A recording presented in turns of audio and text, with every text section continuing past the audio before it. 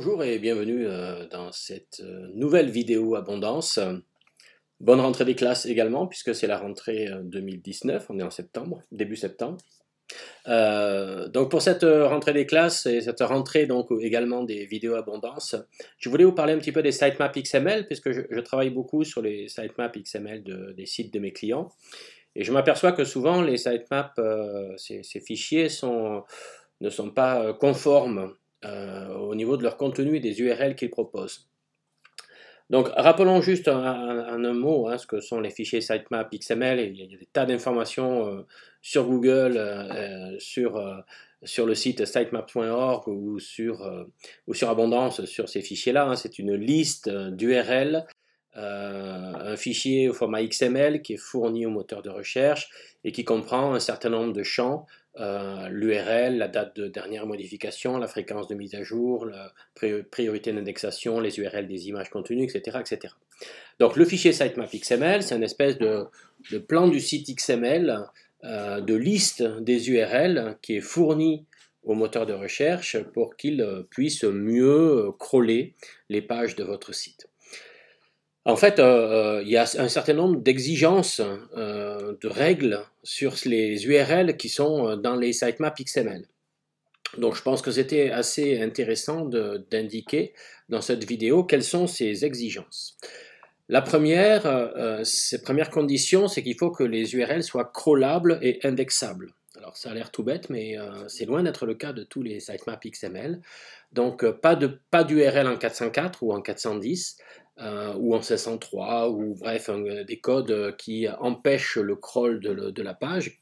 La page n'existe pas, ou tout autre problème.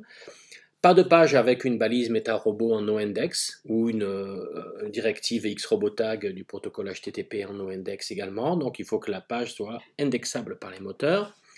Et pas de blocage euh, robot.txt qui bloquerait le crawl au, moteur. Donc en fait, euh, j'en ai portes ouvertes pour les, pour les URL euh, du sitemap XML. Toutes les pages doivent être crawlables par les robots et indexables par les moteurs de recherche. Condition 2, pas de redirection, 301, 302, 307, etc. Bref, toutes les URL fournies dans le sitemap XML doivent renvoyer en fait un code 200 hein, pour dire euh, j'existe et il y a quelque chose à cette URL. Donc pas de redirection 301, 302 ou autre, euh, aucune page, aucune URL du sitemap XML ne, doit être redirigée. Et enfin, troisième condition, les pages doivent être canoniques, ne doivent pas être dupliquées. Donc si je prends ici une page du site Abondance, nouvel affichage pour les recettes de cuisine dans les SERP Google, euh, cette euh, page répond à une URL qui est en bleu à l'écran. Donc dans la balise canonical, qui est en vert euh, ici, euh, vous avez euh, l'URL qui est indiquée dans la balise canonical, qui est l'URL de la page elle-même. Donc qui indique que la page est canonique de ce qu'on appelle une, page en self-canonical. Elle se, elle se self-canonicalise.